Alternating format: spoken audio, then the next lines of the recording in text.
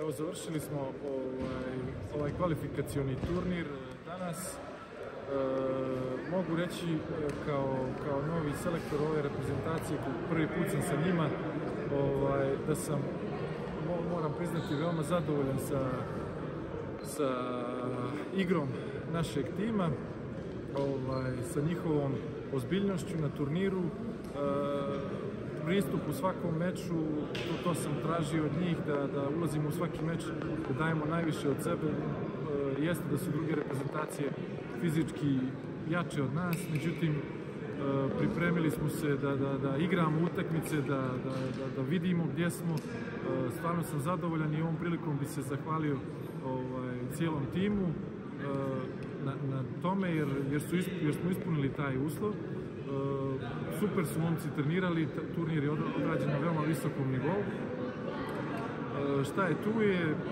rezultat je takav kakav je, e, u suštini pred nama je, vidi se da, da imamo potencijal u ovoj ekipi, među, među ovim igračima.